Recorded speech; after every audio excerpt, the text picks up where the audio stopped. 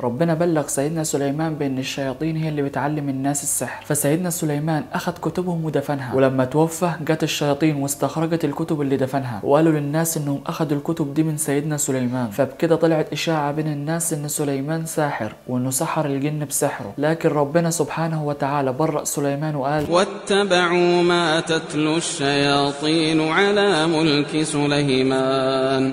وما كفر سليمان ولكن الشياطين كفروا يعلمون الناس السحر. وفي الوقت ده الشياطين فضلوا يوسوسوا للناس ويخلوهم يميلوا لتعلم السحر وناس كتير للأسف باعت نفسها ليهم وفضل الحال ده لغاية وقت الإسلام. وفي الوقت ده سحرة كتير ماتوا وراحت كتبهم معاهم والرسول صلى الله عليه وسلم قال اجتنبوا السبع الموبقات. والموبقات يعني المهلكات. قلنا وما هن يا رسول الله؟ قال الشرك بالله ثم السحر. ولكن للأسف في سحرة فضلوا مستمرين على حالهم. وزاد الموضوع أكتر لما ظهر كتاب شمس المعارف. وده هيكون موضوع قصتنا النهاردة. بس قبل ما نبدأ صلى على محمد واذكر الله. ولو ما كنتش لسه عملت subscribe واشتراك للقناة اعمل اشتراك من الزر الأحمر اللي تحت الفيديو. وفعل زر الجرس عشان يوصلك كل جديد. واعمل like و share عشان الفيديو يوصل لناس كتير. ويلا بينا.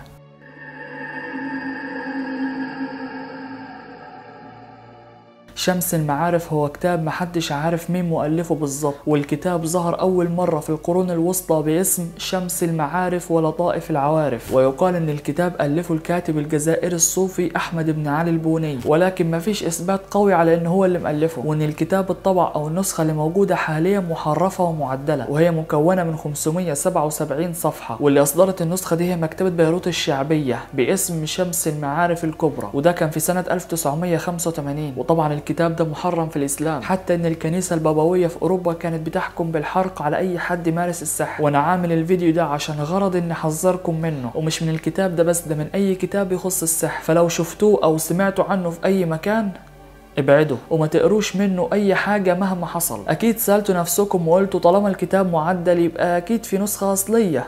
أيوه بالظبط كده. كتاب شمس المعارف الأصلي كان مكون من 2000 صفحة تقريبا ولكنه اتحرق وما تبقاش منه غير مئات الصفحات ومحدش عارف هم راحوا فين بالظبط حتى مؤلف الكتاب الأصلي محدش عارفه. ورجحوا العلماء زمان بأن الكاتب الحقيقي جمع المعلومات من حاجات هو اكتسبها وتعلمها لكن وقتها ما كانوش عارفين المصدر أو هو اكتسبها منين بالظبط والسحرة وصفوا كتاب شمس المعارف بأنه من أقوى كتب السحر والتنجيم وأنه الكنز الضائع لأنه اتقال فيه كلام ما اتقالش قبل كده في أي كتاب كتاب تاني. ففي علماء توصلوا بأن اللي مكتوب في الكتاب محتمل أن يكون الكاتب مش هو اللي مؤلفه وهو كتبه بس لكن صاحب الكلام نفسه هم الشياطين أو الجن ودول كانوا على تواصل بالكاتب ده. وكمان الإمام ابن كثير قال إن الجن هم اللي علموا الإنس. فالأساس الأول لجميع كتب السحر هم شياطين الجن. والدليل على كده قول الله تعالى ولكن الشياطين كفروا يعلمون الناس السحر. والنسخة الحديثة من الكتاب كانت من جمع وتحقيق صوفي لبناني اسمه عبد القادر الحسيني الأدهام الطرابلسي وده اللي عاد صياغة الكتاب. وكمان ضاف عليه فصول تاني متعلقة بالتنجيم والطلاسم. وفي الفترة دي ناس كتير اتضايقت لأنه حرام أصلا. فاتمنع الكتاب من إنه يتباع لغاية ما جت نسخة بعيدة عن الأصل شوية. فدي كانت نسخة معدلة لكن مهما كان برضو الكتاب محرم على المسلم إنه يقرأه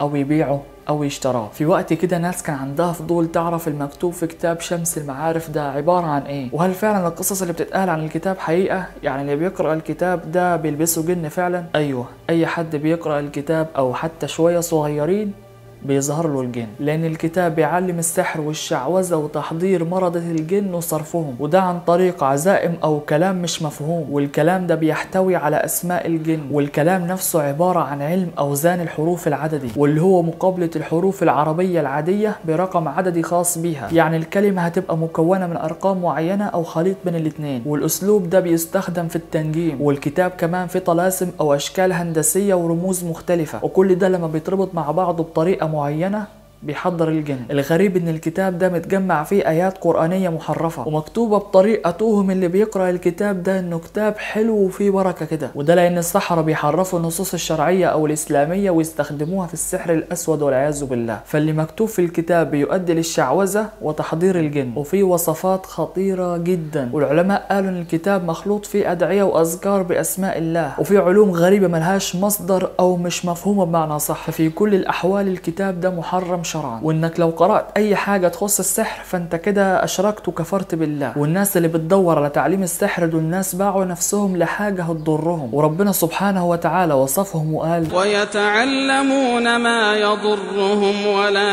ينفعهم. ولقد علموا لمن اشتراه ما له في الآخرة من خلاق. ولبئس ما شروا به أنفسهم لو كانوا يعلمون. وما تخليش الفضول يسحبك إنك تقرأ الكتاب ده أو أي كتاب شبهه لأن على كلام العلماء إنك ممكن تقرأ ولو حتى جملة صغيرة فتحضر جن ويكون خطر عليك وما تعرفش تصرفه. ووقتها حياتك هتتدهور إلى الأبد وكمان هيترتب عليك أذى نفسي وعقلي. وفي سؤال محيرني هم ليه نسبوا الكتاب لأحمد بن علي البوني؟ ومين هو الكاتب ده أصلا؟ وهو في الحقيقة كاتب صوفي جزائري وعاش في القرون الوسطى وتحديدا في زمن الحروب الصليبية وكان عنده خبرات غريبة وتوصف بأنه شخصية غامضة وكان منعزل عن الناس وما تجوزش. وسافر الأندلس والقدس والحجاز ومصر والعراق وقال في كتاباته إنه لقى ورق أو برديات قديمة متعلقة بالسحر والأسرار. وفي سنة 2010 الجزائريين عملوا ملتقى وناقشوا فيه شخصية أحمد بن علي البوني وقالوا ان زاد انعزاله لما لقى البرديات المتعلقة بالسحر. وفي فترة من الزمن ظهر مجموعة من الناس بينشروا تعليم السحر وكانوا عايزين يقنعوا الناس بان كتاب شمس المعارف هو كتاب روحاني وما فيهوش أي ضرر. والناس دول في البداية راحوا للجاهلين أو اللي مش متعلمين بمعنى صح وللأسف دول صدقوهم بسهولة. فالعبرة إنك ما تصدقش حد يقول لك اقرأ كذا أو جرب مش هتخسر حاجة يعني. فاوعى تصدقه لأنك وقتها هتخسر حياتك ودينك. فانفع نفسك بحاجة ترضي ربك واعرف إن السحر من الكفر. وبس وبكده تكون قصتنا النهارده انتهت. أتمنى إنها تعجبكم. لو ما كنتش لسه عملت subscribe أو اشتراك في القناة اعمل اشتراك من الزر الاحمر اللي تحت الفيديو. وفعل زر الجرس عشان يوصلك كل جديد. واعمل like و share وقول رأيك في ال comment عشان ده فعلا بيساعد. وتابعونا على الانستجرام عشان توصلكوا الأخبار أول بأول. سلام.